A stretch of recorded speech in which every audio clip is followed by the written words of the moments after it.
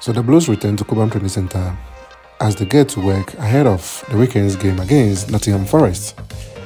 Chelsea recorded their first win under Frank Lampard since his return to the Stamford Bridge against Bournemouth on Saturday.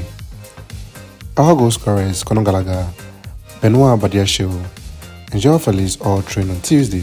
Goalkeepers Edouard Mendy and Kepa Arrizabalaga were joined by Teddy Sharman, Louis, and Eddie Beach, while Captain Cesar Azpilicueta trained alongside Lewis Hall.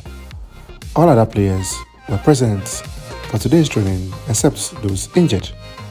We wish Frank Lampard and the boys the very best in their preparation ahead of the weekend's fixture. Blues reaching us from the camp. Subscribe, like, and be here for more. Thanks for watching.